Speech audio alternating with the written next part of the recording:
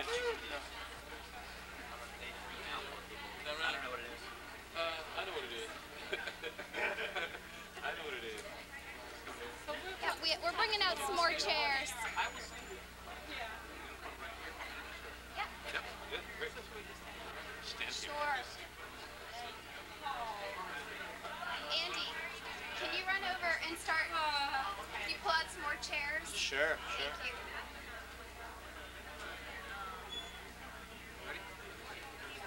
Bonnie? Uh, we will. We're gonna go out. You okay? Yeah. Fine. I was like, a superstar. You're a performer. I know. Okay. You can shrink it. There is a reception after as well. If you would- Yes.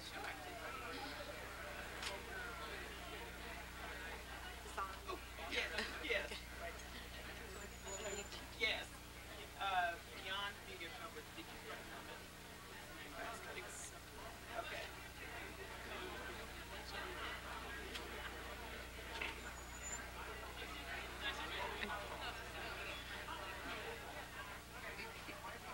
I'm just gonna go on and after all you guys. What are you doing next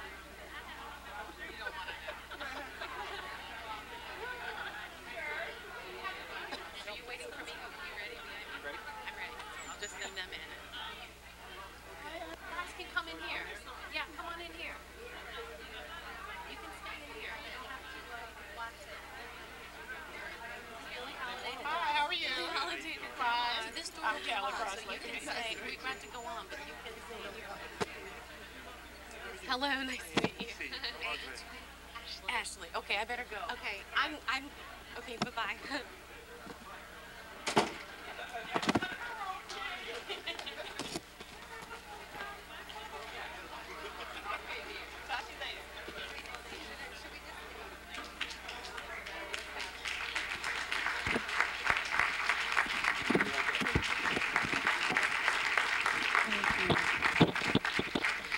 Good afternoon, ladies and gentlemen. My name is Ashley McCants. Um, I am the co-chair of the fifth annual Harvard Black Arts Festival. On behalf of myself, my co-chair Maya Payne, the entire Black Arts Festival Executive Board, and the Kuumba Singers of Harvard College, we are so pleased to see so many of you here for this opening event, um, Invisibility to Commodity, Constructions of Black Women in Art and Media. Um, we do want to point out to you that this is the opening event of a series of um, festival events going on this entire weekend. Um, if you didn't pick up a program on your way in, I hope you will pick one up on your way out and take a look at all the things we have going on this weekend. Um, specifically, uh, we'd like to invite you this evening to two film screenings um, that will be happening at the Film Archive at the Carpenter Center. The first is at 7 p.m. It's entitled Murder on a Sunday Morning, and the second is at 9:15 p.m. entitled 30 Days to Life. And we are um, pleased to have Vanessa Middleton, um, the director of that film, um, joining us as well. So we hope you'll um, to see you going ev- at everything this weekend, and we hope you enjoy this discussion. We are honored uh, today to have Dr. Evelyn Brooks Higginbotham moderating this discussion for us. Um, Dr. Higginbotham is a professor of history and Afro American Studies in the Faculty of Arts and Sciences. She is editor in chief of the Harvard Guide to Afro African American History 2001. Um, she is also the author of Righteous Discontent The Women's Movement in the Black Baptist Church, 1880 to 1920. It's an award winning uh, work. She is uh, currently working on the memoirs of her late husband, Judge Leon Higginbotham Jr. Uh, Chief Judge Emeritus of the U.S. Third Circuit Court of Appeals, Public Service Professor of Jurisprudence at Harvard, Harvard's Kennedy School of Government, and lecturer on law at the Harvard Law School. Um, I'm going to turn it over to Dr. Higginbotham right now. Um, we're so pleased to have you again, and thanks again for coming. Thank you.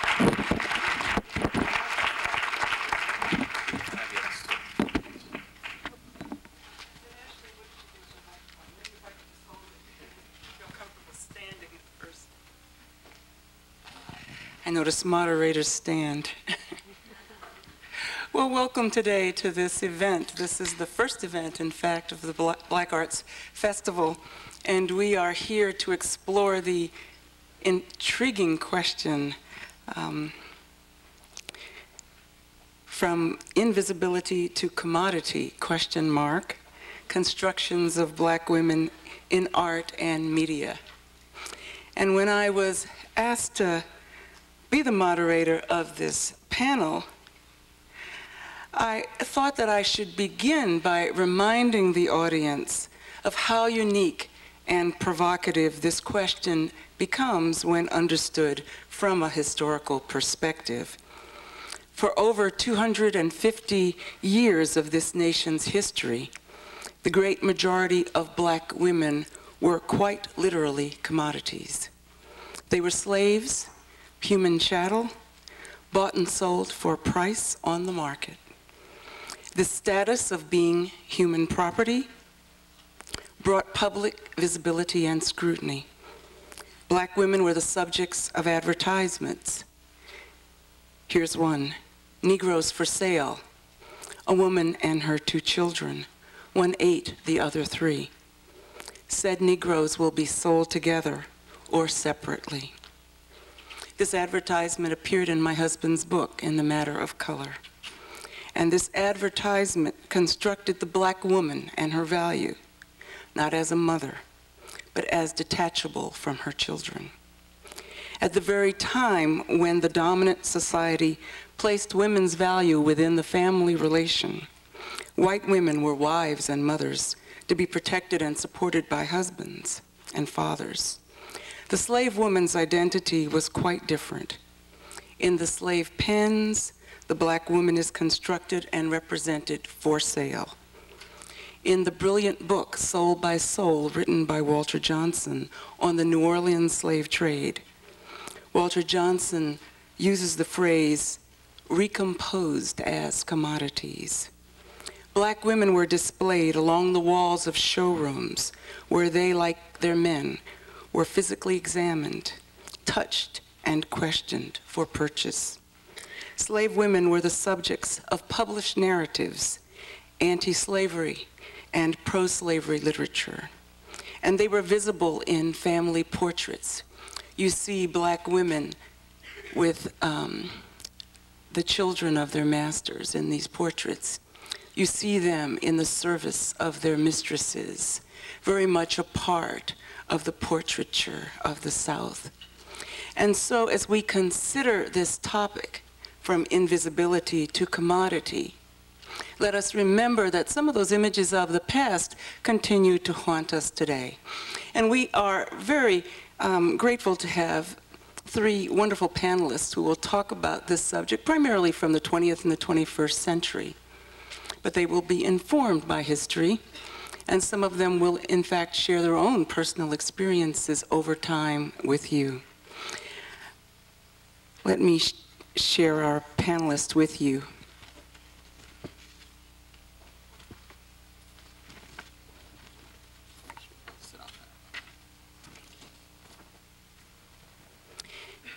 Callie Cros Crossley, to my left, is an experienced media personality. In fact, I'm sure most of you have seen her on television.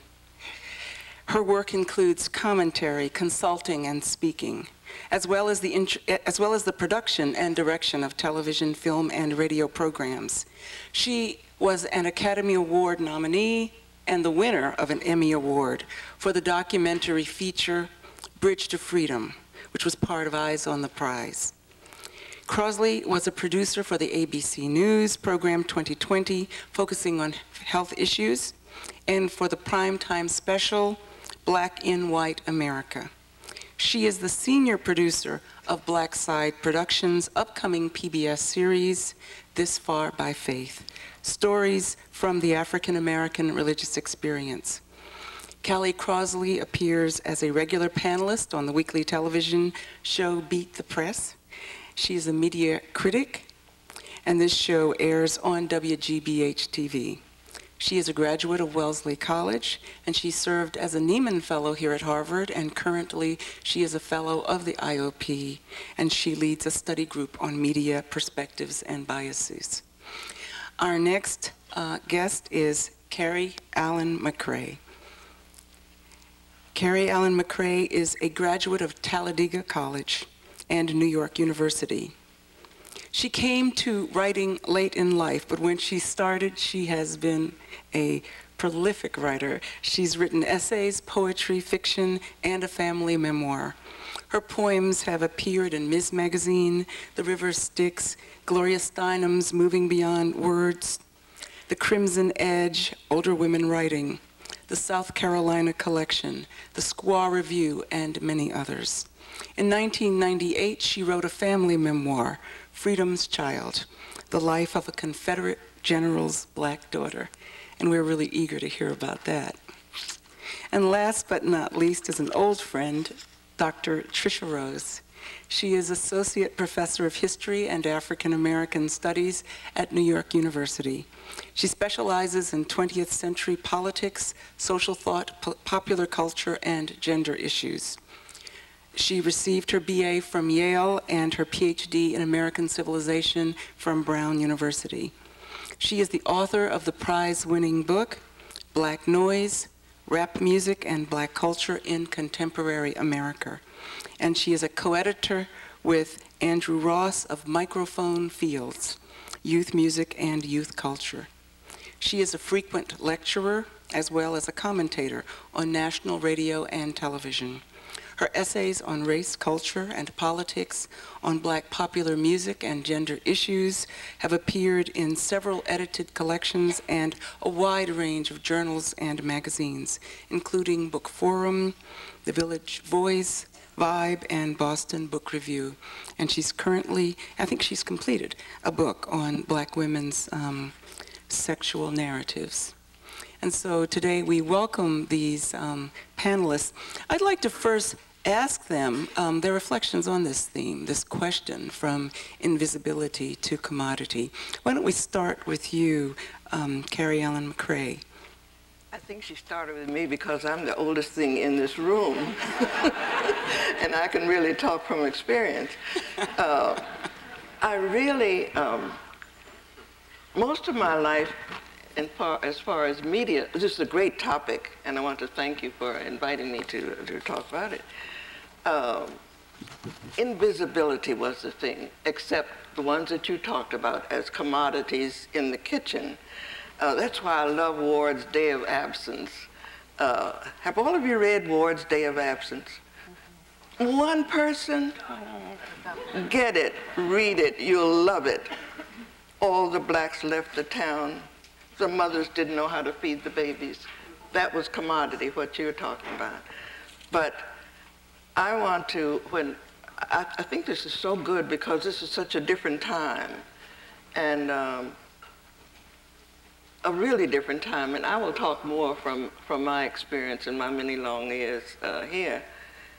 Um, I don't think that that means that we, I think we still have to be vigilant. And I will bring some of that out when we, when, when we really talk. Put up your hand when my two minutes is over. We're not supposed to talk except two minutes. I told her she could shut me up because I. okay. Callie Crossley. Well, I had to ponder this theme quite a bit because I was trying to figure out what does it really mean. The question mark threw me off a little bit. Um, I am reminded of a forum that was here maybe 10 years ago. None of you would have been around. Right here in this place. And it was sponsored by the Links, which is a black women's organization, national black women's organization. And it was about images of black women. And I'm sorry to say that we are 10 years later and the same discussion is taking place because the same things are in evidence. Um, and I think the subtitle was from mammies to whatever, and there was a question mark there as well. and, and here we are. so commodities from the historical standpoint meant just that, that people were bought and sold. When I th think about invisibility from a media standpoint, I think it's on two levels. First of all, there is the question of whether or not there are folk. You know, before Julia was a show on television, were there any black women on television? That's the, the obvious invisibility. But I would have to say there's a broader one to consider, and that is whether or not black women, even if they are physically on the air, are represented correctly. So in fact, are we not, or are, are we and they all still invisible? Because what our images are the images of us that are put out there are really, in so many times, in so many cases, way off the mark. And it never seems to address all of who we are. Um, and so that is how I would respond to the invisibility. To the commodity question, um, today on the show that I do, uh, Beat the Press, we talked about Daniel Pearl's death being now made into a commodity as people debate about whether or not they should show the tape of his murder. And in the same way, I would say the image of a black woman and what folks think she's supposed to represent has been commoditized, com you know, productized, whatever the incorrect word I'm making up here. But you get my point. Um, it's, it's, it's being bought and sold, but in a different arena. We're not no longer on the auction block, but maybe we're in that little square. So I'll leave it there for the moment. Well, I wanted to sort of pick up on a couple of things said here and take a slightly different take. Um, being a 20th century person, not just in living, but in what I study, I, I thought really immediately, of course, partly of the history of the physical commodification, but I also thought that the question, and it is a question, uh, really addressed the shift between a moment in which African American women were mostly invisible in the mainstream popular visual context and have moved from that marginality to a relatively central media role, particularly given the increased centrality of black imagery in the popular imagination. So partly because of hip hop, partly because of you know, WB and other TV stations which seem basically to be black youth TV stations, um, we have an abundance of representation, which we didn't have before. And we have a lot more images than we used to have. So the question becomes, is this increase a commodification um, and how does it relate to the history of greater marginality? So my take on that framing is that we were more invisible in one sense, but that invisibility was a highly visible invisibility. Exactly. Don't you love academics? like okay. What, you think you get it and then they mess you up. What, what I mean is, mm -hmm. we were not visible, but everyone knew what we meant. Mm -hmm. So that our invisibility was what uh, was used to buttress what was visible. So we know what not to be when we know what black people are. Mm -hmm. right? We don't see them, but we always know what they are. So the invisibility was highly known. It wasn't invisible and unknown as if to say, oh, I've never seen an African American. I don't know what they're about. Gee, they're invisible. I wonder what they're about. No, no, no, no. We, there was a litany of things that we, mm-hmm. quote, were and remain in the imagination that was reinforced by the invisibility. Now, to my mind, many of those things are also being reinforced by the commodification. Mm -hmm. And by that I mean that while we have a much more space to be visible in American popular culture than any other moment in its history. Our images are extraordinarily narrow. Should you watch BET? Should you have cable? Should you turn on WB? Should you go to the movies? Except for the kinds of autonomous, um, independent cinema that I'm hoping you'll see this, this weekend, you'll find a, a starkly narrow range of experiences being represented. So commodification has not only meant the reinforcement of the same logic of invisibility, but it has also narrowed the range of expression when you'd think it would open it up. So the reason why it's a question mark is because on the one hand, we are making a movement from invisibility to high visibility in the market, but at the same time, we're not moving away from invisibility because the same logic that underwrote invisibility is underwriting commodification. So there is a tension, and that's why I do think it's a really great framing of it. But that, that's my overall take on, on the conception. That's so fascinating. And, and when we think about this uh, over a period of time, uh, what fascinates me, though, is uh, when you say, uh, well, did we know who black women were? It's interesting the ways that Americans saw black women. And I'd like to turn this question to you, Carrie McCray, because Carrie McCray went to Talladega College in the 1930s. And in the 1930s, black women's images were in many ways all over the place. They were on salt and pepper shakers. They were on, Aunt Jemima. yes, Aunt Jemima Pancake pancake mix. They were shaped like cookie jars. Um, we were the household products that people thought they knew, these servile images. And yet, Carrie, Allen McCray, you went to school during a period when obviously segregation was law, when there was no women's movement. So you've seen quite a lot of changes over the decades. I'd like you to just talk to us about some of your thoughts, maybe even sharing about what led you to write your memoirs, this recent memoir.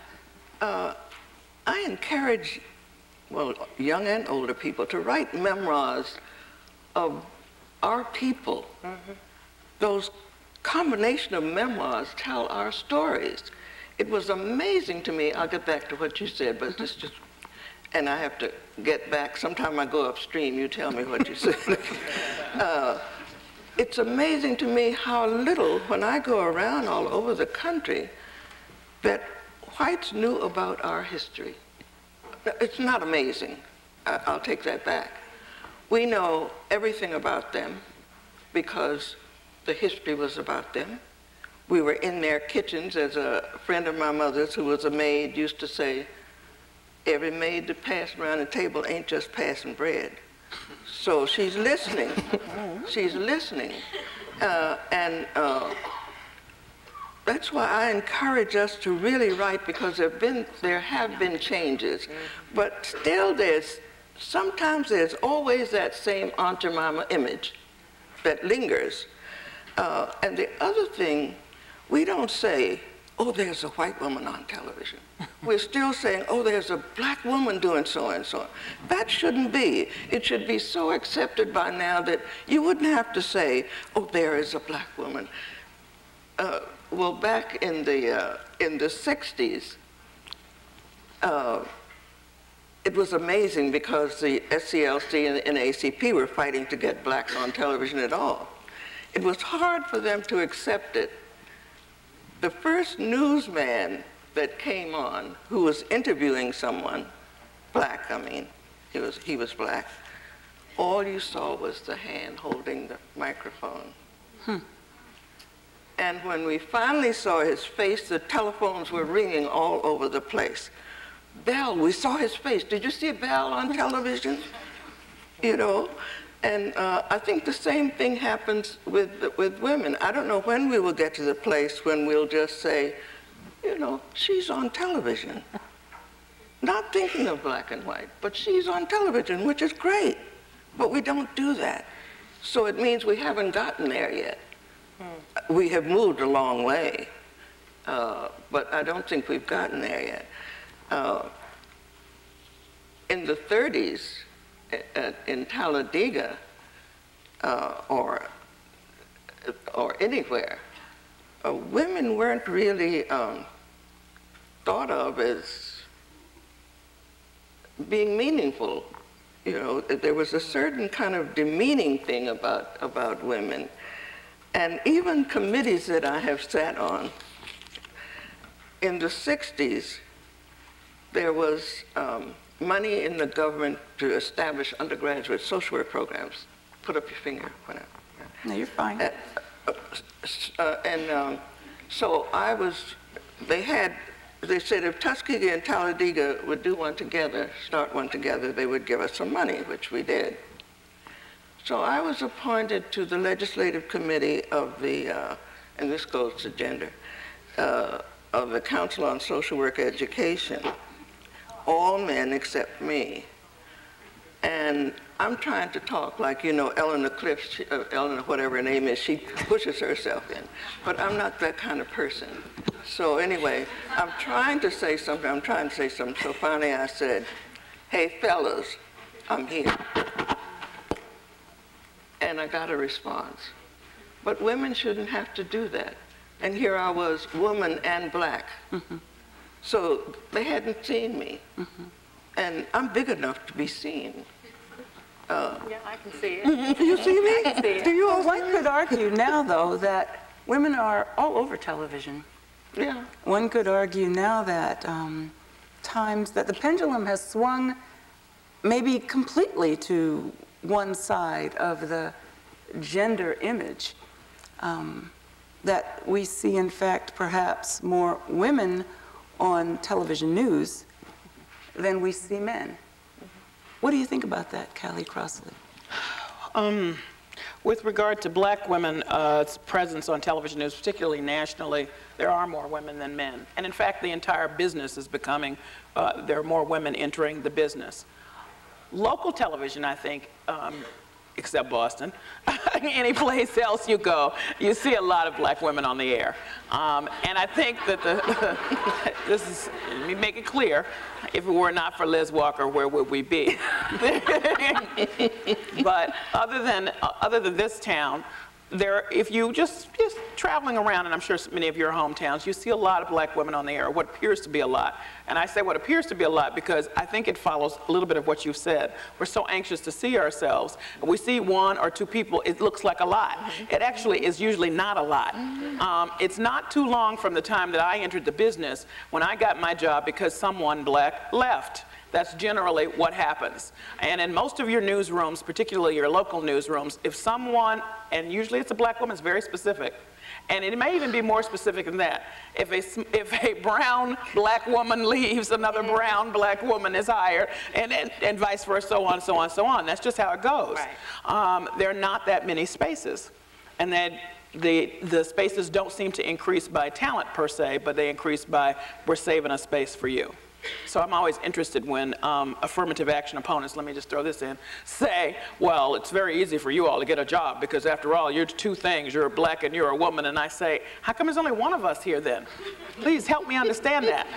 I need to understand why there's only one in the newsroom. And it's, in every newsroom I worked in, that was it. It was one. And that one was created when the person left.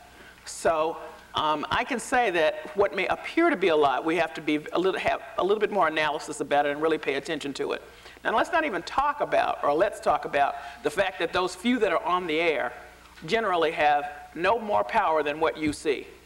They have the power to deliver a message to you for that day, but they're not calling the shots in the back. Um, they're not uh, determining where they will go. They're not determining the editorial focus uh, of the newscast. And that's an issue because how we are shaped in the end and how we come across uh, invisibility or commodity really has to do with whether or not we have some power to make those decisions. And I can tell you that very few of us do. Is there a difference, though, between black wo- women and black men? Uh, is there a trend going on here? because you get two hits with us. What's been happening in terms of the, the commodification, and I think that's better, um, is that they, what they would do is, what they will do now is put a black woman in a position, so there are very, very few black men uh, in television news these days, particularly on air. You don't have to take my word for it, just start paying attention. Do you, do you think there's another reason? Is that, is that the, I was thinking of another possible reason, which, and tell me, I- it's not my field, but it seems that it might also have something to do with the way masculinity reads as authority. I mean, I wonder, in terms of the anchor role, it seems as if women, while they have authority in some general sense, they don't carry the same kinds of authority in the way that stories are chosen and who gets to say what. And so I'm wondering if, if black men would, in fact, be more problematic, um, in addition to counting only once. I think problematic is, comes from the same images that we've dealt with over the years, which is that, are they threatening in presence? Are they, you know, Right. sometimes, uh, you know, even as a black woman, uh, I can tell you, working at ABC for 13 years, if I said, well, I don't understand why we're doing that, that's interpreted as, she's so hostile. You know, why is she so hostile? I, I, I can't tell you how many times that has happened. I mean, and you ratchet it down as much as you can because the images that we, we haven't articulated here that we're talking about are black women as the big B or, or black women as loose women. Um, and, and so if you're not, not, or mammies, if you're not fitting in any one of those categories, they don't really know quite what to do with you. So, I mean, I took the point, I was so glad when email came in so I could say, hi, I'm wondering, I'm puzzled, you know, so somebody could hear me. Right, Which is You know, you know. Yeah. kind of disembodiment. It right? So in fact, absolutely. You don't read as a black woman questioning, challenging. Now you're just an email and they have to conjure you. Yeah. Thank you. Yeah. Thank you, my sister historian. That's exactly what it is. Right. Because, and, and I mean, this is real. This is going on now, 2002, I'm sorry to say. Um, and so it becomes, I think, if you have a choice, if you're going to have the big threatening black Right. man, no matter if Right. he's, you know, the tiniest thing with a high voice, um, it doesn't matter. You know, he's Right, right. threatening, That- uh, uh, or me, yeah. I'm less threatening, so that's Yeah. what's happening. But you know, that, that really troubles me because until the white society's perception of the black male changes, we will always have. Always. Uh, I remember an article in the New York Times, I think he was a Harvard man some time ago, it was doing the Willie Horton thing. And the article was me and Willie Horton. He was a Harvard, I think, professor. Hmm. And he said if he walked down that street, that fine street where he lived, and that cop did not know that he lived down there in that big house, he would be Willie Horton. Hmm. And I really think that is one of the, the basic problems mm-hmm. of uh.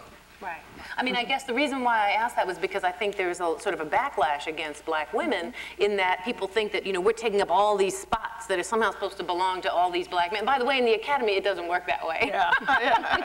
um, there, aren't, there aren't that many more black women than black men. Well, let me make it clear, there's not that many spots, period. Um, Right. For anybody. both places. Yeah, okay. But, but, So, but I guess what yeah. I'm saying is that I think it is important to read how gender is working in this subtle Absolutely. way. That when you question, you become very aggressive. But the reason that there might be more of you, black women, as opposed to men, is because the assumption is when a man questions, he has the patriarchal privilege Right. to question. so when a black man questions, he's questioning with patriarchal authority. And they can't undermine that part without undermining their own patriarchal authority. Mm-hmm. So what black women allow them to do is to do the liberal gesture, oh, we have some blacks on board, but we don't have any men who in our patriarchal worldview actually should be equals. And so we actually, it seems to me, need to think about how patriarchy Mm-hmm. is something maybe black folks should be a little less invested in because in fact it's not doing us any good. Absolutely. Mm-hmm. Well, Tricia, to you then, because, I mean, you know, I mean, I know it's not popular, all- but you know, I mean. no, no, no, no, and I, I do agree with you, but, but I'm, as I'm listening to you, I'm just thinking about all of these kind of vested assumptions about black women as well. There are all these images out there. Um, there, there are all of these black women um, in a variety of roles, but how representative are those roles really? Yeah, this, this is was coming to me as we were talking because what is, it seems to me, came across when you said in that meeting, I'm here. When she says, I'm here, it's not just a physical question. It's a question about you need to see me as I'm speaking. Mm-hmm. They had decided something about you and then stepped over you. Uh, It's not that they didn't know you were physically there, they decided something. And that speaks to the entrenched intensity of the kinds of stereotypes you were speaking uh, Or- about or- and how powerful they are. Yes. Excuse me. No, please. Whatever you had to say is not important. Not right, not important, and especially That- unrecognizable if it didn't fit what they thought you should be mm-hmm. talking about. You know, King talks about Vietnam War, oh, we're done listening to you. You've left the Negro question. Mm-hmm. You raise a question that leaves your little sphere in their mind of what your sphere ought to be, and mm-hmm. now you're in trouble. So there's a sense in which these representations have not shifted at all. Mm-hmm. And the diversity of images have definitely expanded to some degree, but they nonetheless get funneled back. I mean, one, one thing that struck me about the whole intensity around the Anita Hill thing was how unrecognizable she was. People didn't know what to make of Anita Hill because in the national consciousness of what categories black women can fall into, Mammy, Shrill, Jezebel, uh, uh, now the welfare queen, you know, which is a recent uh, trope, relatively recent, these images, Anita Hill didn't make sense. So there's a sense in which she broke into, she was unrecognizable. We couldn't understand why she would respond to people this way because we didn't know who she was. And it's not about whether or not she's exceptional or not exceptional or average. It's that people had a sense of what she should have to be. And when she didn't fit that, she, she sort of caused difficulty. But the thing I'm most concerned about right now, I don't have great expectations that the national media is going to shift its conception of black people. Believe me, this is, if I were waiting up for that, I would be very, very sleepy. Really? Because this is not going to happen. Hello. Um, Yes. what, what, I'm, what I'm most concerned about is how profitable it is for black people to actually represent ourselves the way we've been representing ourselves. Profitable at our own hand, meaning we are, in fact, supporting the reproduction of representations frequently in popular culture that claim to be keeping it real, not just hip hop, mind you, but this idea of keeping it real as a way of, of feeding into the stereotypes. So let me just take a minute with this because it, it's, it's very important. Well, to me, it's very important. So I'm going to take a minute with it. But, it, you know, it's not to say that there are not notions of, of, of, of suffering in the ghetto and fabulosity in the ghetto that are, are not real. I'm not suggesting this is unreal. What I am suggesting is that a lot of the recent images we have fulfill two things at once. Maybe African Americans desired to be sort of fabulous and cool and hustle and, and street and to represent a certain way, and at the same time fulfill a dominant cultural need, i.e., mainstream middle class whites who don't tend to know too much about everyday black life fulfills their perception of the ghetto as an exotic, excessive, loud, street-oriented, hustler, ghetto fabulous space. So it crosses two sets of needs and then, as a result, expands and takes up more and more space. We don't seem to be able to get enough of this one set of images, which is black women as highly sexual, highly available, strip clubs on every corner, according to mm-hmm. hip hop video, at this mm-hmm. particular moment in time. Mm-hmm. There are a lot of strip clubs in the black community, I, I guess, um, because we're keeping it real. I know. Um, and at the same time, you know, a, a sense of sort of black street machismo and excess and hardness and distance. You know, I don't know too many black men like the men in the videos. I don't, I don't know about hmm. you, but you know, it- it's a fairly excessive portrait of everybody that we are in fact enabling the distribution of. If black folks said it was no longer cool, it would be over. There'd be a little bit of it, but it wouldn't be populating it. So the question is, how have we begun, you know, in a sense, to bring this on and continue it in our own cultural space? So much so, so much so. Uh, as a writer, I will not listen to a publisher. I'd rather for them not to publish than to say, I'll tell you what, an example. I wrote a book about air shaft. I lived in Brooklyn for a long time. The idea of the book was that there was a community around this air shaft. There was uh, an Irish, elderly Irish lady. There was a Holocaust survivor, and all the rest were blacks. And through that air shaft, we could knock on the, on the window and talk to whoever we wanted to talk with. And I have some funny stories in there, some sad stories. My agent sent it to six different publishers who rejected it, and I said to my publisher, I said, everybody that reads this really seems to like it. She said, you don't have enough sex. I said, oh, God, here it is again. You know there was sex around the air shaft. there had to be. Have to say that. It even, even the sex that I did have in there, she said, well, you're not explicit. I have a story in there about a friend of mine who lived on the first floor about keys. She would give one man a key and forget to collect it. And then she'd be afraid that he might walk in. I don't have to say what was going on then or why she was afraid. If she's in there drinking coffee, she wouldn't worry about whether he had a key or not. So, but, but I'm not going to sell out. I don't care. I, I, I won't sell out. My publisher said, she, but Carrie, you could make a whole lot of money with this story, but I'm not going to do that. I think there are those that will do it Right. In relation to what you said. And they will not only do it, but they will make it so explicit and more explicit. And of course, they think all of us are, well, they don't think I am, but I mean, you know. And so I, I think you have a good point there. Well, may I ask this then, because the, If I could just say something, I, don't, I think that uh, those people who are using media to project the images don't really have a clear understanding of how much it's like um, India ink. It stains. It doesn't go away. I think people think that they can use it to promote whatever is cool, is happening, is hip, or what I think I am at the moment. And then when I change my mind about what that will be, um, then that changes as well. But it doesn't. And it has never done that with regard to black folk. It just builds on the stereotype. You cannot erase it. I mean, and that's what you're speaking about in terms of uh, whether or not we, we ourselves are putting forth some of this. Uh, some of the kinds of images that just don't seem to go. That's why they don't go away. May I just, but, but, but, but, here's a question for, for all three of you, because th- th- this is a contestation in our community. We've got people who are like you, Ms. McCray, who um, feel that a certain dignity should be maintained. Um, in my own writing, I talk about something called the politics of respectability. And this is an ideology in our community, it's still strong in our community in some circles, where you maintain yourself in a certain decorum, where when you make demands for justice, that you are uh, certain to not give your oppressor a reason to rationalize the negative images that he has of you, in quotes. Now, in the news, uh, there are choices to be made. What is newsworthy? You know, there are all so many stories, very positive stories, that never make the news. Who makes those decisions? About six white men. really? I'm not, I'm not being funny. Uh, I'm talking about people who are heads of major news or organizations and at major, and that's print and broadcast.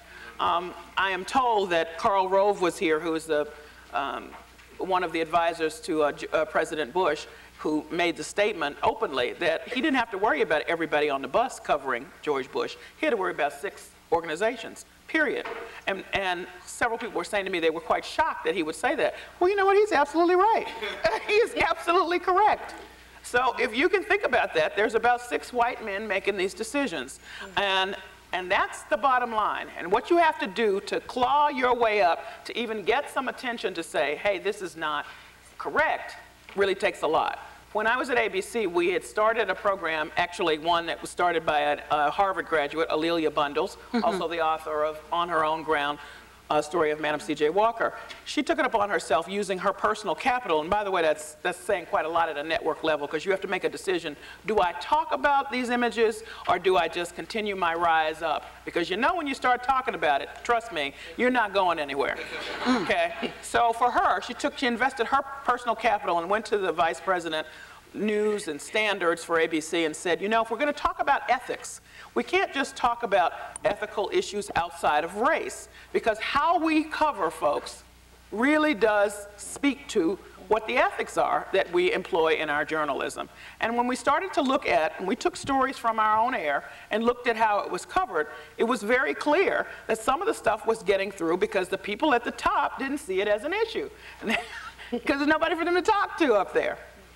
So uh, it's sort of like a vicious circle. Now, what you're talking about, Trish, is a different thing. You're talking about our having um, the ability to create some of this media and putting it out there when we have choices to make. Uh, but at the same time, on, on the quote mainstream press, people are making decisions, and uh, it, it, we're not usually in the room. This is why some of some of those images are, are very negative images of women, and they reinforce these um, dominant uh, images of welfare, instantly equal black women. Um, you know, these, these, these images. And, and for you, Tricia, because you do popular music especially, um, I want to talk about this contestation here.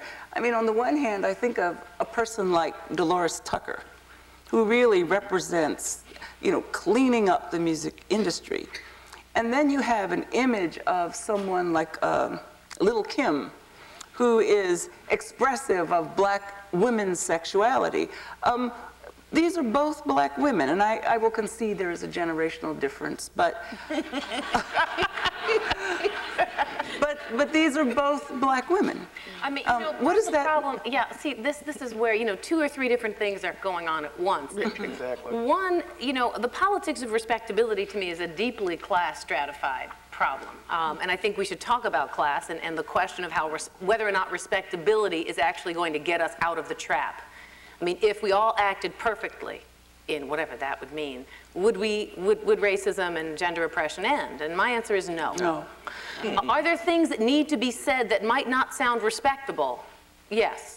Uh, a lot of rage needs to be articulated. A lot of suffering needs to be articulated. A lot of gut bucket activity needs to be articulated in certain places at certain times. So I am actually anxious about the tension between excessive um, stereotypical portrayal, which we, you know, in a sense was in your question, quote Little Kim, which Yes. I'm just following your question. I'm not putting her there myself. And then Doris, C. Dolores Tucker on the other end, you see. And those are polarizations that actually fit the kinds of, of silences that I think we're still facing. In other words, black women are quite in the middle. Very few of us are Little Kim and very few of us are C. Dolores Tucker. Yes. And I think what's really important is that we wind up in this polarized conversation and the enormous complexity and uh, much, much more um, entangled lives that we live, how complicated it is to come of age as a black woman and to take on the kinds of responsibilities that black women take on, and whether or not we struggle with the concerns about how blackness and masculinity become a place that helps sometimes silence our specific experiences because we feel we're betraying some larger community by pointing out, you know, many women in many generations continue to struggle with this. And so we, we work between a kind of excessive stereotype and a total kind of silencing. Neither of these to me are appropriate. I mean, and that's why I don't turn to the mass media. In other words, I actually think that why I love the question of this panel is that it raises the question, well, okay, well, do we have to participate? in this? Don't we want to actually, on the one hand, challenge what's going on in the media and say, look, there's not enough space for us to articulate ourselves. We're much more rich, much more complicated than this. And we're not, you know, we're not either welfare queens or respectable, you know, good women that you would like. Uh, we're not any of these things. We're a lot of other things. And the moment you start seeing us as individuals and as part of a collective group, it will be, you will be unable, these stereotypes will make no sense. The only way to undermine these, these tropes is to create so much diversity and complexity in representation that you can no longer draw the trope as an example. So when you say a white woman, you mean a million different things. No one means one thing. And that's what I think we really have to focus how do on you- is uh, it's- working beyond these spaces. How do you achieve that without media, though? I, Well- I, I'm, you know, Well, I mean, I think part of it has to do with how we approach the media. I am a little cynical about what I think mass media can do because I'm And well, convinced that should be. even yeah, even if we even if we put a black woman or two black women in that top six, in order for them to get there and stay there, they can't represent the politics you're talking about. So the representation, having a couple filled in, isn't going to change it. We have to transform what meanings people are looking for. And that has to happen mm-hmm. at a cultural and everyday level. And I think it has to do with expanding the public sphere. In other words, we have to see our own representations and lived experiences and stories like the ones you're talking about in a wide arrangement of places and not look to mass media for ourselves. In other words, we can go there and check stuff out, but don't look to find ourselves there. And we need to look in much more local places where everyday people that we know are represented and are expressing themselves and to, to stay face to face because this level of mediation makes it easier to categorize and just see a trope and follow it. And I think it's But much harder when you have real bodies. but, but, but who has the authoritative responsibility here? I mean, is this a black woman's issue? Are we the voices of ourselves? Because so many other people write about us.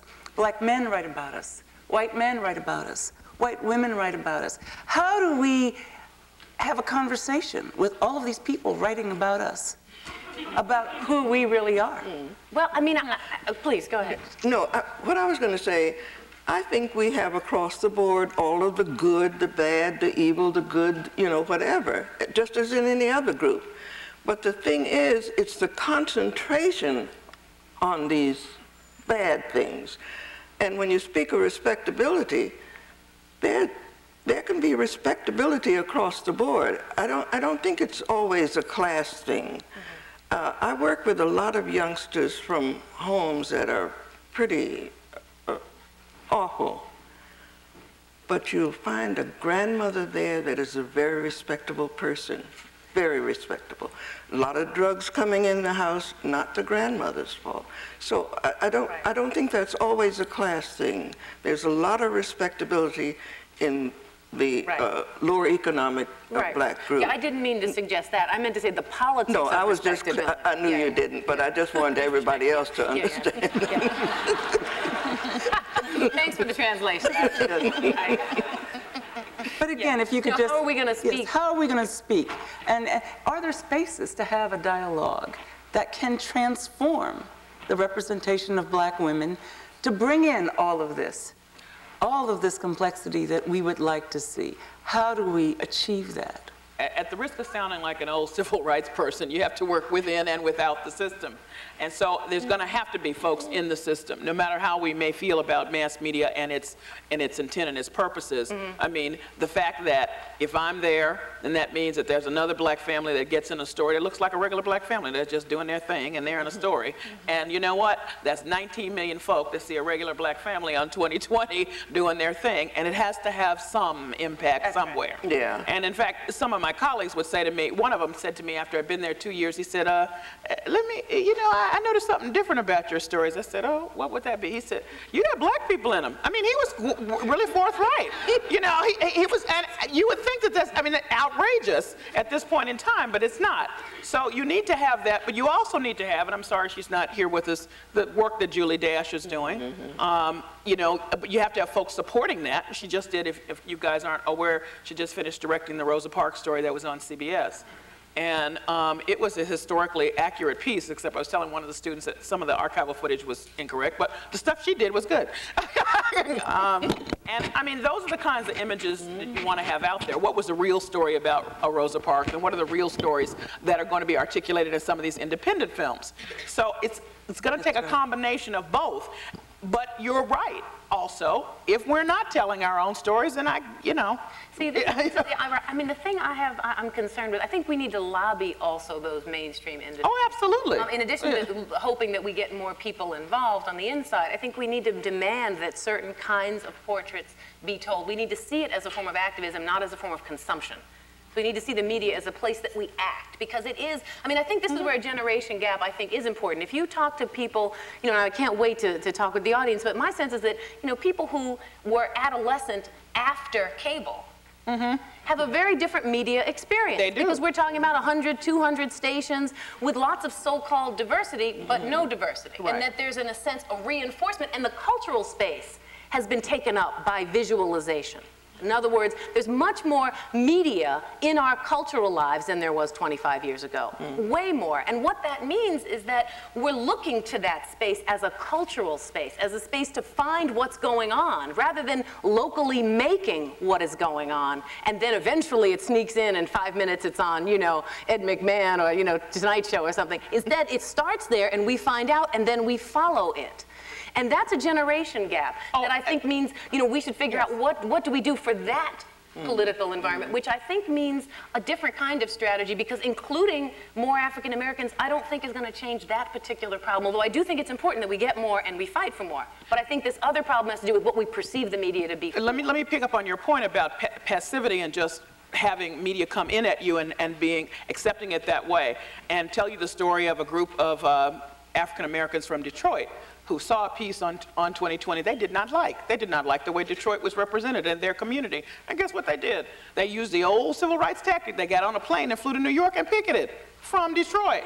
Said, we do not appreciate this. And guess what? They ended up meeting with the vice president of, of uh, ABC, and some stuff changed. So that's an old way of doing it. but that requires not being passive and understanding that you do, you can control, even if it's nothing but clicking like this, which, by the way, means stuff to folk because that's money. If you're clicking away, that's money.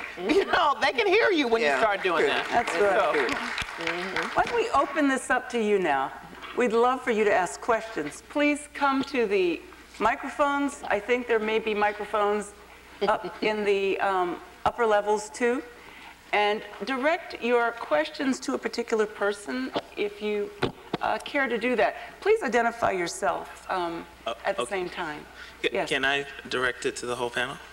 Uh, Yes, and please be brief though in your answers. Uh, My name is Matthew. Mugo Fields. I'm a du- dual degree student at the business school and at the education school, Mm-hmm. master's student. Um, I, I just came from the barber shop, if y'all couldn't tell. and uh, David Michaels, Central Square, hooked, they hooked the brother up. Um, and, and, and actually, my question is about that very thing. I view the barber shop in the black community as being, in many ways, the center of black maleness.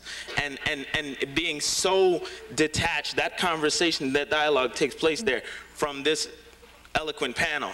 And what I want and what I want to know is you're all very articulate and, and I appreciate that. But how do we get this dialogue in the barbershop? How do we get these issues discussed at the barbershop? How do we introduce that um, in the barbershop form of the barbershop? That's my Unisex hair. Okay. question. Ain't gonna happen. That's what, I- that's what. I Black would- women would be the first to oppose. Okay, go on. Thank you. Who would like to answer? You want to start? No, you, you go ahead first. Um, well, I do kind of have that conversation in, in my barbershop because I actually go to a barbershop to deal with my hair. Um, and my barbers are Muslim, so maybe that's why we're having these discussions. Uh, so I think it's just a, it's, it's incumbent upon her, on us to raise them.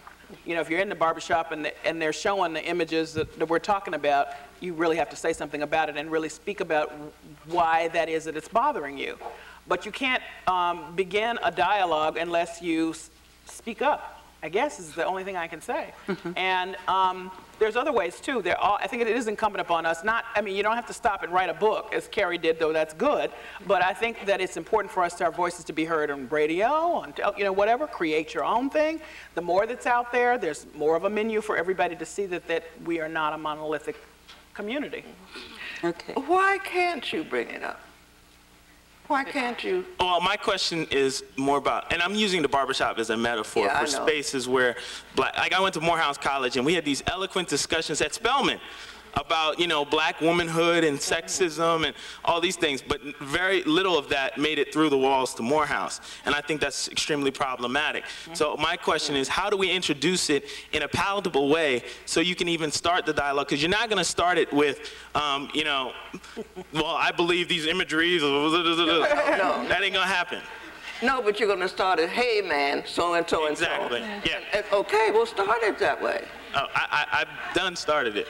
You've already, oh, Yeah, but, but yeah, you're, you're saying though it's hard to keep it going and to make it part of the space. Yes. Um, I think one of the ways to do it, you know, I'm, I'm convinced that, you know, the problem of, of sort of gender oppression isn't just about talking about black women, but dismantling patriarchy. Remember, that's where I started a, a little while ago because it's not mm-hmm. that mm-hmm. people don't necessarily know what black women's experiences are per se in the black community, or that black men don't notice black women working so hard, or don't notice black mothers and grandmothers, the mm-hmm. ones you mentioned earlier. It's a, it's a framework we put them in, as in these are the sacrificial, amazing parents and mothers and grandparents, and these are these other women I deal with. You know, these sort of, we separate them out in a patriarchal way. Now, the way to get around that, it seems to me, is to talk about how masculinity has been attached to patriarchy. Because masculinity doesn't have to equal patriarchy. Mm-hmm. So the conversation isn't always about women per se to get this conversation going, but to saying, well, what, what becomes important to men in those conversations? What, what are bragging rights about? I mean, we need to talk about socially what value we get from reinforcing certain kinds of ideas and images and, you know, highly hypersexualizations or devaluing women as a way of bonding, for example. That doesn't mean learning about women only, it means re-evaluating what masculinity is about. I mean, I see it as a really a two-part conversation. Um, I don't know if that helps you, but that just, Thank you. thanks a lot for the question. Yes. Hi. Um, my name is Kelly Johnson. I'm a senior at the college. And I guess I'll direct my question to Ms. McCray because I heard you bring it up. But I had a question about the stereotypes you guys um, brought up, in particular the Aunt Jemima mammy stereotype. And I had a discussion about this with my mother. And I was wondering, because there's this kind of duality in it, behind her smile, there's this strength and there's this dignity. And so there's a reason to take pride in her. At the same time, a lot of people are shamed by her. And I was wondering what, I was curious about what your opinions were about that duality. Well, you're right, there is strength and all. But the thing is, there was a time when only that was shown. That's the thing. Uh, and it was Aunt Jemima, it was the coon music, it was the coon this and the coon jack. So there is a, a respectability about Aunt Jemima because she is a strong person. But there's also, in some, it, it depends on who's looking at the Aunt Jemima and who created the Aunt Jemima, you see. Now, Aunt Jemima to me is fine because she made those good pancakes. So, you know, but what it means to, to some uh, whites, I'm sure, is what I guess you were talking about in the beginning. This is my commodity. That's the commodity person. So how you react to it might be quite different. I, am glad you said the strength because that strength has been there, you know, through the years. Uh, but, but how you use that image is a different thing. You know, I refer you to Donald Bogle's book, not the most recent one, which is Primetime Blues, but Toms, Coons, Mammies, and Bucks, um, which is a really interesting book. And he talks about the women, the actresses who were forced to play those roles, and really what they did to maintain their dignity while playing. It was pretty amazing. Um, some, so as a survival technique, they figured out, figured their way around it. And I think in the same way, uh, the image is a complex one, as you've said. And if we try to look really behind what the image is, maybe we'll come to a little peace with it. That's the hard thing. Is there a question upstairs?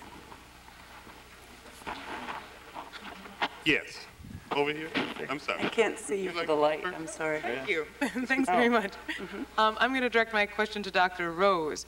Um, when you're talking about the sort of narrow band of images of black women and black men in the media, I guess the first thought that I had was, well, images sort of by their nature in the media are reductionist. I mean, I don't think of all these various roles of complexity for white women or Asian women or white men for that matter in the media. That to a certain extent, when you throw something up there and divorce it from its actual humanity, you create a sort of you know, paper cutout or two at best dimensional image of people. And so if you were and then you talk about this sort of post-cable mindset that uh, the visual space being sort of laying the, the psychological patterning in some way for us to take in what we see every day, to you know, draw images of real people into this patriarchal box or whatever images we see out there. But without completely disavowing the sort of normal life that many of us are subject to, which includes, unfortunately, for too many people, a lot of TV, or includes not even television, but just literally walking around your space, like to have a day without looking at magazine covers or advertisements. but if you are an average working class person who cannot construct your life in, at Harvard or somewhere like that where you can completely disavow that space, mm-hmm. how do you resist that patterning that happens? I mean, what are your prescriptions? Right, that's a great, very mm-hmm. complicated mm-hmm. set of questions. Uh, I can't see you without holding my hand up, so I'm going to look around, but I'm, I'm, talking to you, okay, as well as everyone else, but it's really a bright light above your head. Um, first of all, um, I'm not really trying to suggest that, you know, we're all just blindly consuming it any more than any other generation was consuming blindly what was going on. We have critical moments in a variety of ways. What I'm really trying to point out is that many of us think that black popular culture, by definition, contradicts what goes on in the mainstream imagination. That we see it as an automatically resistant and radical space. And I want to challenge that a little bit and say that we should have a content-based politics right? Because otherwise we wind up with the notion of simply more representation as if more black faces will change something or it doesn't matter what they think as long as they're black. And I'm really trying to point out that we should ask ourselves more about that. Now to get to your primary question, which is about how do everyday people respond to this, and I think you know, there's a lot more dissent and complexity and frustration across the board, but I think that Part of it is that, you know, there's a kind of internal censorship that we don't want to challenge black people who are doing this. Because mm-hmm. quite frankly, the, you know, the news notwithstanding, if you look at the popular arena, most of these representations are produced by black people. And that's something we have to grapple with. And I'm not saying they're bad representations. I actually like a lot of them. I watch a lot of MTV. I watch a lot of other videos. I mean, it's not like I, I don't sit around at Harvard avoiding magazines, actually. But, you know, I watch a ton of television to my husband's great, great chagrin. But, you know, it's not about that. It's about how we're choosing to watch it. And that has to do with public space. That's what I meant about public space. If we have, and we use churches, we use schools, we use places to have not Harvard conversations, but just everyday conversations. I would bet you everything we say up here has been said in the barbershop, has been said somewhere else, mm-hmm. but we don't hear each other saying it because we, only, we primarily go into our homes with our kids after a 50, 60 hour work week, exhausted, and take a break to watch TV. Rightfully so. So but the question becomes, can we create public spaces that produce some sense of relaxation and human connection that give us the time to reflect collectively about things that we may in fact be thinking on our own? Which I think is already going on. So that to me means treating this as something we should be in dialogue about. And the place I think we should be the most critical and active, those of us who have the luxury of the time and, and, and, and privilege, is to spend the time criticizing the narrowing of black space among black media. In other words, black radio, and black television needs to be pressed, like maybe we need to fly from Detroit or fly from someplace else and say, look, we want more open space, we want more call-in time, we want to hear from everybody else, we want different shows, we want more things.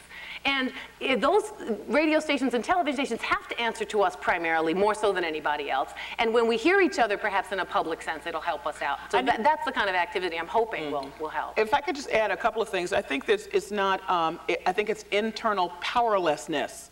Um, and people see media as capital M. It's actually small m. One phone call um, to a network to say, I am unhappy with what I saw, represents 10,000 households. And, and, a, and a letter is more than that. But to get folks to write or call is like pulling teeth. So there is an internal powerlessness about feeling like, well, I'm here, I'm watching it after my 50 or 60, and what can I do about it anyway? I'll just look at it. So there's, there's, that, that really needs to be. Right. And then Maybe we can get churches to put these media num- phone numbers on speed dial, get the congregation. It happens all up, the time, but I I also think uh, the other point that you made about people being born after cable has come into being means that there has been a certain amount of passivity and not critical analysis. That's something that uh, we're talking about in my, in my uh, sessions, just how to deconstruct the message. People, you look at it and you accept it for what it is, but actually, what are the reasons why it's there? Right. Whose People agenda literacy. put it there? Right. What's going, I mean, that's the way you should be approaching all of this. That's right. And you know, we don't really teach that. I mean, here we have a world where most of our politics, most of our you know representation happens through the mass media. I mean, we learn about the election issues through mass media, not through that moment of voting, and yet we have no curriculum on media literacy. How are images constructed? What's going on? Where does it come? The whole country suffers from an enormous inability to see it as a reading. How do we learn to read representation? And I think we should demand that everyday curriculum and television itself be forced to articulate that. And again, uh, you know, I think speed dial. We got to think about about Okay, having we have questions up here too, yes. Uh, my name is Jason Glenn. I'm a fifth-year student in the History of Science department. Um, Professor Higginbotham, you started off the conversation by saying that we were going to historicize this conversation, and uh, I'd, I'd like to try to ask a question along those lines. Uh, the panel started off with a discussion about invisibility, and I was immediately taken to Ralph Ellison's discussion of invisibility. And when he talked about being invisible, about it not being necessarily an issue with any peculiarity to his epidermis, but rather a matter of the construction of the inner eyes, those eyes with which we look through our physical eyes upon reality. And so this whole idea about that there is a such thing as an inner eyes, um, things that are constructed to see reality in a certain way, such that when we view images of blacks on TV, usually they can either do one of two things. They can either confirm the rule or they can be an exception to the rule. But nevertheless, the rule is still there in place. Um, and I think the construction of the inner eyes doesn't necessarily just take place with white Americans. Um, black people are educated to have the same inner eyes and look upon other black people in the same way that everyone else in America is. So, uh, Professor Rose, when you talk about blacks' participation in uh, the conserving these images and our participation in helping put them out, is very logical sort of within that sense. And so I wanted to know if we could get a conversation about how do you address the construction of those inner eyes, that process with which we, along with everybody else, learn that there is a certain conception of what it means to be black and how we all equally deal uh, with the problem trying to break out of those kind of conceptions. That's an important question. I think I'm, gonna- I'm just going to ask one of you to try to take it, only because I do want to get to some of the others, because we have quite a large number of people standing here. So could just one person, rather than us, have everyone talk about it? Would you like to talk about it? Um, well, you know, I do think on the one hand it is logical that African Americans would internalize some of this, but I don't think it's as immediate and logical as people might think. In other words, one of the things that has always impeded us from seeing ourselves as dominant culture has seen us, our black institutions, and the history of being around ourselves and knowing that we do not reflect what we see. We see the range of black people living lives in everyday uh, experiences, and those things undermine the sort of tropes that are in the dominant sphere. So I do think that we have internalized it, but I think we've increased that internalization because of the expansion of mass media and the fact that media representations have not transform themselves. And so it is, a, I think, a shift that has taken some place. But again, you know, I think race is one trope here, but gender is another. You see, black women are in a very distinctive place in this mm-hmm. conversation, and that is that it's very hard to see the specificity of black women. We, we immediately go to the general of race, and the point is that when black women voice their specificity, they have to make a gendered critique, almost without exception, and when they do that, they have to critique internally. And that, in black historical terms, is close to blasphemy. You have to say, we have a patriarchal problem in our community. We have a gender domination problem that articulates itself differently than it does elsewhere because we have different kinds of unemployment issues, we have different kinds of hostility toward black men that we don't have toward white men, et cetera, et cetera. So there is a difference, but there is nonetheless an extraordinary kind of burden on black women that produces a kind of silence that is a little bit different. The invisibility of black women is not the same as Ralph Ellison in, a, in an important way. It is both the same and not. So I guess what I'm saying here is that we, we do want to um, recognize that we've internalized some of this, but to say that we need to do some more critical reflection beyond the media, to spend more time in public sphere. We had black institutions for most of our history that enable the kinds of conversations that your story talks about, you know, where people are in conversation, not looking outward. So I guess what I want to call semi-private public spaces. I want us to think mm-hmm. about developing local semi-private public spaces where we're really face to face and there's no cameras and we're really just having over and over and over again to reinforce the senses of ourselves that will help undermine some of what I think you're right about pointing out. Mm-hmm. Thank you. It's a great question. Thank you. Mm-hmm. All right, Salamisha. Misha. Okay, my name's Salamisha Tillett. I'm a third year in AMCIV.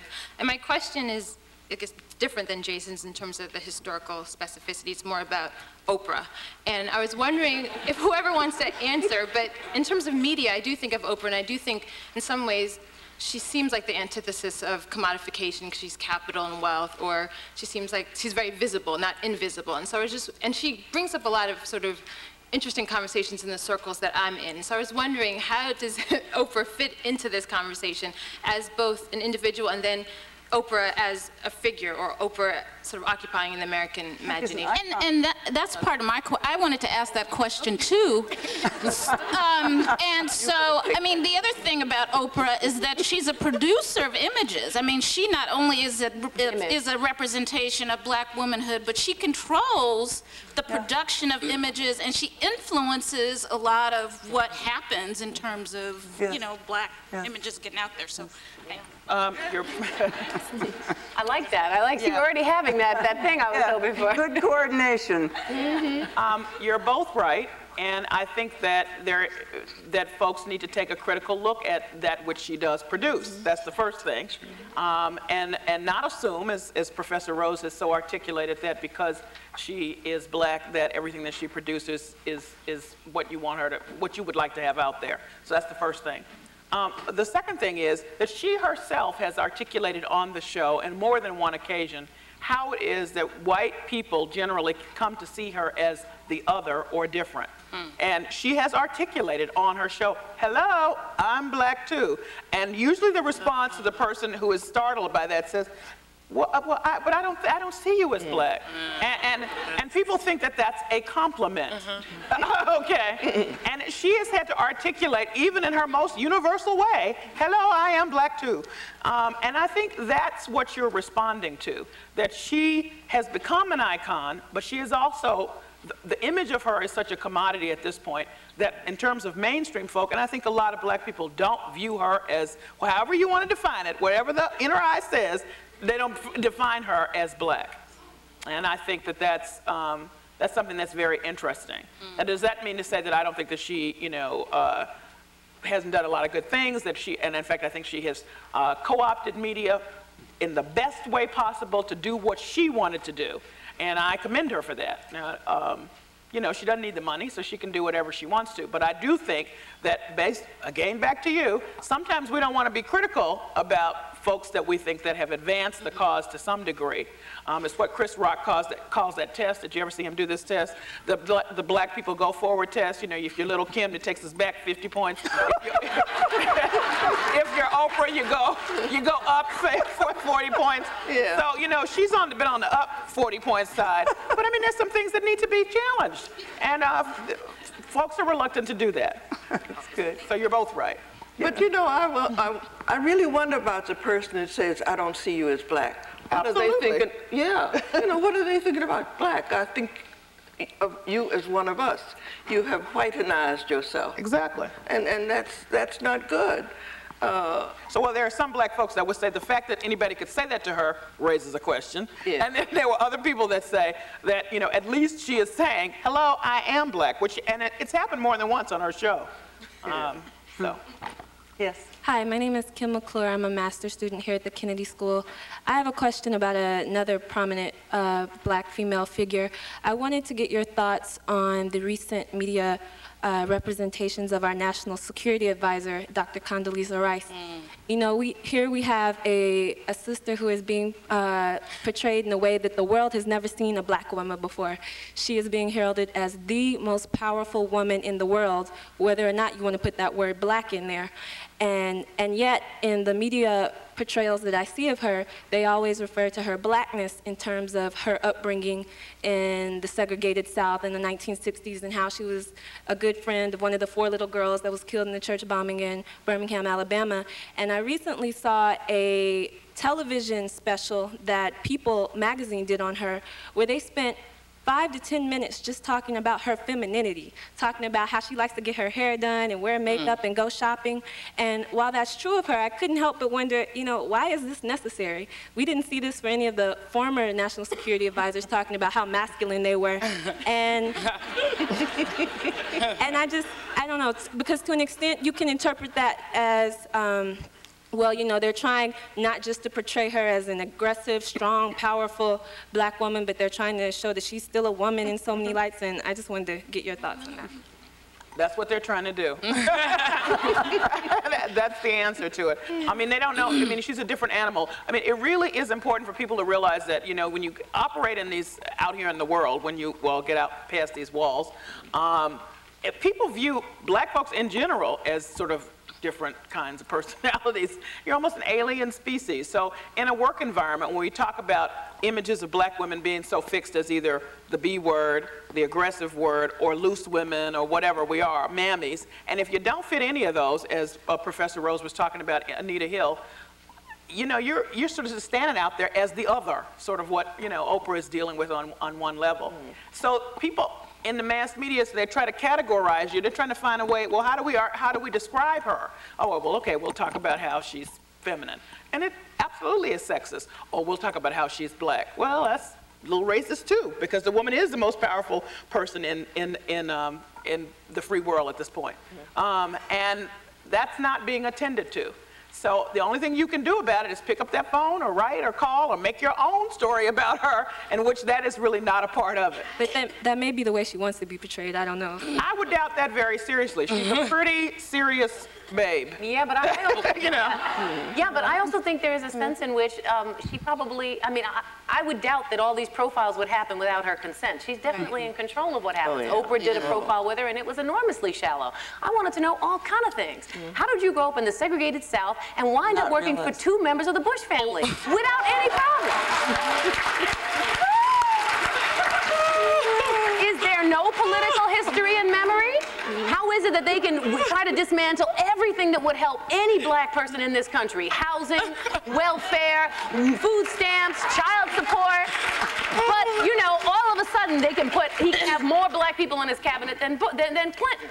Aside What, from the what political, politically does that enable? No, but I think, but I think because she's a conservative, it's not just her being in the South; it's her political orientation. If she were on the left, she would have a different political problem of recognition. You see, now she doesn't look shrill because she's coming from a conservative perspective. She has to look warm and connected to black people. So we hear all about the South, and we hear all about how they're connected to civil rights. See, to me, this is a deep media. I mean, again, I got my own conspiracy problems, but you know, I, I I'm, I'm not. I mean, when when we have West Wing and then we have the Bush, you know, then we go see the real West Wing. There's a real tie-in that's making Okay, me anxious. Patricia, let- So let's- People let's- Magazine, let's start- Oprah, and you know, let's all of start with media literacy. If you're doing what people trying do in right. Oprah, no, if you're doing people in Oprah, what do you think it's going to be? We're not talking about anything deep there. It- that's people in Oprah. That's what they deal with. You know, now uh, Mandela's was much deeper. I All think right. Mandela's was much deeper. I mean, I read Oprah All every right, month. ladies. Thank you. I need to start writing letters though, like you said. I need to start doing that. Yeah, um, I'm not exactly sure how I'm going to pose this um, question, but I guess I, this is. Adam, you should introduce yourself, My name please. is Adam Biggs. I'm a graduate student in uh, the American Studies program. Um, and one of my questions is, I mean, this is sort of, I don't know, sort of a frustrating dialogue for me in some ways because I feel as though it's almost goes without arguing that American democracy has been founded on racial, gender, and class um, ex- exploitation. And there, you could probably say that modern progress is in a lot of ways founded on those very um, same goals. And the idea that this is somehow something that we've just been doing wrong up to this point. That is to say, not that we have not doing it wrong, but something that we're just going to a history which we're going to divorce ourselves from and create this utopian sort of place where these won't, patriarchy won't be a problem, racial difference won't be a problem, um, class differences won't be a problem, and that somehow we're free from that. Like we have a vision that these people who came behind us didn't for the last millenniums. Um, it seems to me just, I mean, what's the benefit of that? I mean, what is? So is your question, Adam, that uh, this is naive, that our efforts to talk about a new media literacy, our efforts to talk about uh, changing the way we understand and talk to one another about patriarchy, that that is naive given the history of what has come before? Is that your question? Not. That's not my. question. That's my question. Just ask the I question mean, of one of these members. You, you want me to you want me to move a little faster? Is that what you're saying? Okay, right. What I'm more concerned about is what are the greater tensions that are at play here? That is to say, we're on both sides of this coin in some very important ways. It seems that we actually recreate some of the disparities that we um, are very much trying to critique right now, and saying that we're trying to escape ourselves from. How do we go about? I mean, where's the humility in that? I mean, where do you go about? Yeah, get sort of presenting ourselves as the sort of enlightened ones in that regard. I mean, I'm not sure.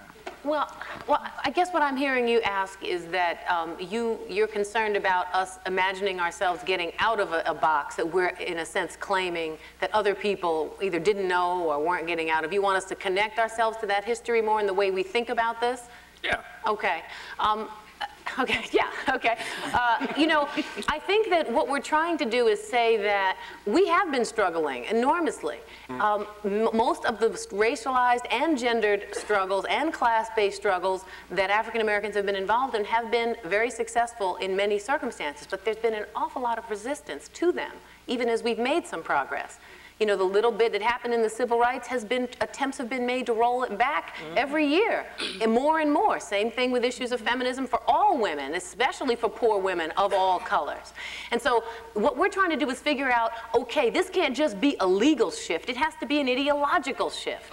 one that actually speaks to most people so that when the laws get changed, they don't get unchanged in 15 minutes. And I think what we're trying to address is what happens after many people have struggled so much, and yet we, we speak so much about the possibility of democracy and equality. Of course, we have a, an awful history in many, many ways. That doesn't separate us from most of the globe, tragically. And so we have to figure out how can we, given all that we do know, given all that we claim we've learned, really make that change. And I think we're trying to respond to the newer medias that we, that we have to face now. But is that a utopian vision, that that change will actually No, it's a place? process. I mean, for me, it's not utopian. It's an ongoing struggle. I assume tragically that all of us will mm-hmm. pass away before all of this totally changes. But in the act of struggling, a lot is learned, people's lives are changed, and the possibility of future struggle lies in us watching ourselves struggle now. Young people see us struggle, they will struggle too. They see us giving up, we know what the future holds. And, and, So and, the, and the other side, um, what you said, new media, I think we, we really do have to be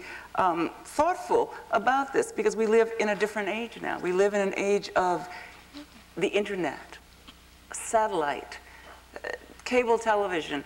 Uh, these images are coming in so many different ways, newer ways. How do we have a voice to address all of those different ways? That is for the 21st century. That's not a, just an issue that we can look back to the past and find an answer. Yes, ma'am. My question, oh, my name is Regine Jean Charles, and I am a second year doctoral candidate in Romance languages. Um, my question relates to color, which did not come up at all during this. Um, and I'm wondering how, I just want to know your thoughts in the context of the lack of diversity for images of black women, um, especially when you think about the fact that in an American context at least, what becomes dark-skinned and the lack of images of dark-skinned women. And when a woman who is a little more than brown with natural hair, say like India.Arie, um, comes out, yeah, can't get a Grammy. no, no, when, these sort, when, when an image of that sort of woman comes out, everyone's like, oh, she's just trying to be like Lauryn Hill, or oh, they're doing the same thing as Erykah Badu. What do we need an Eric, another Erykah Badu for? Whereas if it were a woman who was less brown than her, who didn't have natural hair, it wouldn't be a problem, you know, because there's so many of them. So I guess I just wanted you to address that Yeah, a little bit. I'd like to deal with that. when, when I was a little girl, I had what blacks, blacks back there called the only bad hair in the family. And the people in the church would say, poor little Carol, look at all that bad hair. But my mother, who was very fair, with good hair, In quotes. In quotes. Oh, in quotes. Yeah, that's what I'm, I'm saying. With it was bad and good hair back there. I don't care what you say. it, that is what it was called, and it wasn't in quotes. I had the bad hair. My mother would always say, hair is just to protect the head, and Carrie's does a much better job than mine. And this, this lady that always called me that, she had all of this crinkly hair down like that, and I can't tell you what my mother said about that because I, hmm. but, but the thing that troubles me, if we're going to be divisive because of color or hair, we are lost. My mother was a wonderful woman. She said, somebody was, oh, oh, she had a friend who was a dentist uh, wife who was very fair with the good hair, no quotes, the good hair. And she said, and my mother, when, when Anne Spencer, the poet, would come to visit, my mother would have Langston Hughes. We lived in Montclair, New Jersey, 28 miles from New York, and Du Bois and all of those over. Also, my mother, whose mother was a slave and a maid, had the domestic workers that were dear friends of hers, too. So this lady of the diamonds and the fair and the hair said, why do you have to have those people here? Mm-hmm. My mother said, it's bad enough for white people to divide us. But when we do it ourselves, it's a sin. It just didn't make its way into the Ten Commandments. she always had a response that was so quick, and I was thinking something two weeks later, you know, I wish I had said that. Mothers are like but that. What happened, and, and the story that I wrote about my mother, it got sort of buried under the fact that she had a Confederate uh, uh, father. I can't tell you how, you might have a Confederate uh, great, great, great grandfather. You know, we're, we're all mixed up like that. But the media, uh, Miles O'Brien did that to me. He said, here is Carrie Allen McCray, who wrote a story about her grandfather, who's a Confederate general. I didn't write the story about him.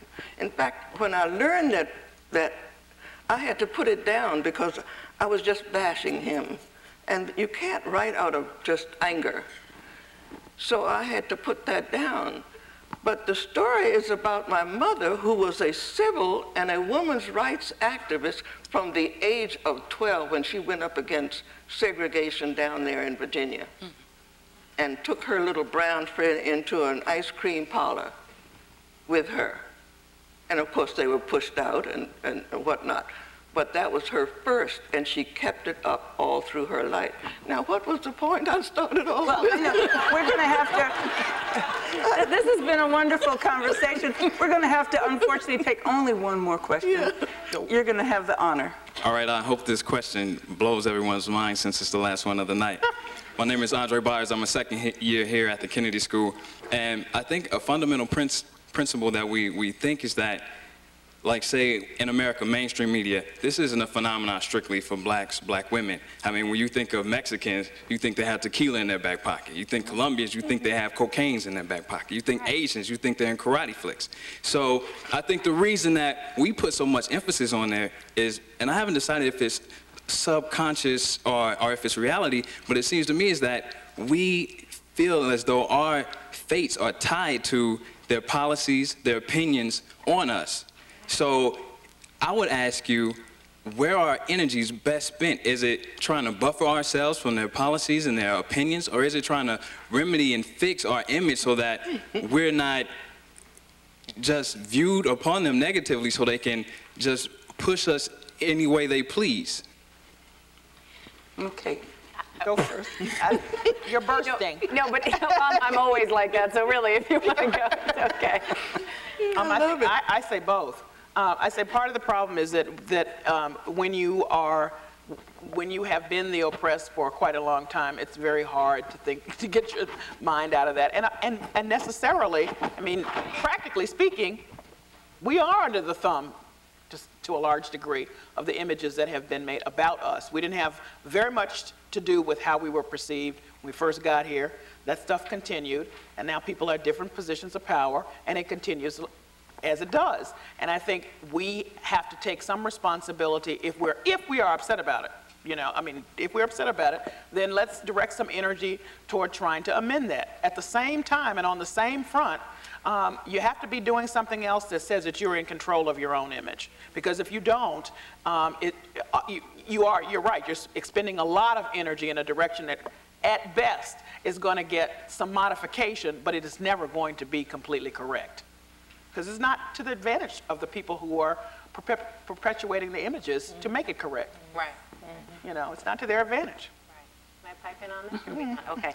No, um, t- two things. One, I want to connect these questions around color because, and these representations because it's so important. For, representations do not stand separate from policy. Mm-hmm. It- public policy is driven by public opinion and mm-hmm. perception.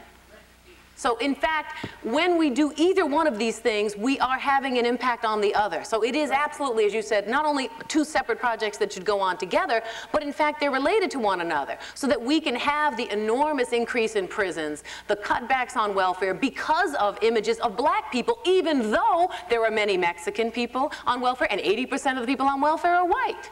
So in fact, we can have a policy that actually disproportionately uh, uh, in some ways affects working class whites worse, but it, it, it, looks to their advantage because of the image of black. So what happens is that the imagery of black people has been used as a, a, a litmus test for all kinds of other people of color that we should be in representational dialogue with, because you're absolutely right. We have all these stereotypes, but blackness has been used really to keep many people under the thumb of those who have most of the power, which is a very small percentage of the people in the West. And color has been an enormous dividing point, even in these representations And I think we don't talk enough about color, particularly for women, again, because, you know, when it comes to women, it's about what you look like. Right. More than what you have to say and what you do. And in a society based on color hierarchy, black women face more uh, abuse based on color and more separation based on color than any other group. And so I think it's important that we see how, again, the representation around color is keeping black women from each other because of the ways we, we don't treat each other properly. So there's an enormous politics in representation that I think needs to be coupled with policy in both cases. Thank you so much. I want to thank this um, panel. You were wonderful, just really intriguing and Thank you. Thank you, guys. Thank you. I want to thank the, um, I want to thank the audience. I want to thank you, the audience, and the questions that you, you raised. Um, there is an event afterwards. You want to say Right, this? there's a reception on the fourth floor in the penthouse. Um, please come. Uh, All are welcome to meet with the panelists. Thank you. Oh, I love to hear you. I love it. Oh, yeah, I think I, the top part fell off. Oh,